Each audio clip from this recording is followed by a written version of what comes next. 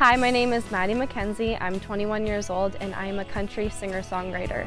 I've been living in Oakland for about 19 years.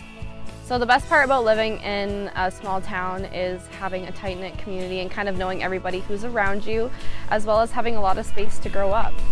My goal for the future in music is to become a Canadian country artist. Um, I actually have a song coming out very soon, so I'm getting pretty close to that dream.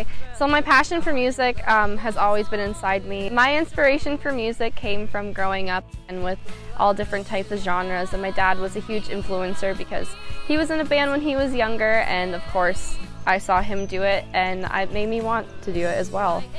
I started singing at the age of 15 when I was sick with pneumonia in the hospital. My dad brought me a small guitar and he started to teach me a couple of chords and after that I was sold.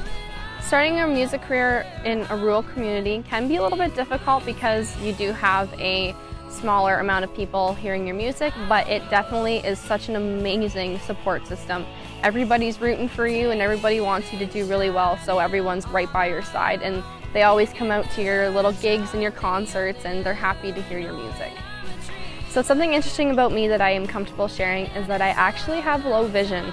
It's called macular dystrophy and it's something um, where you have central blindness. I am actually the first student at the University of Western Ontario to go into nursing with low vision, so I'm really proud of that. But what I'm most proud of is that I have a song coming out to radio. It's called Dreamer. Um, it was actually one of the songs that I thought would be one of the worst songs I've ever written in my life, and it turned out to be one of the most amazing ones that I've ever written.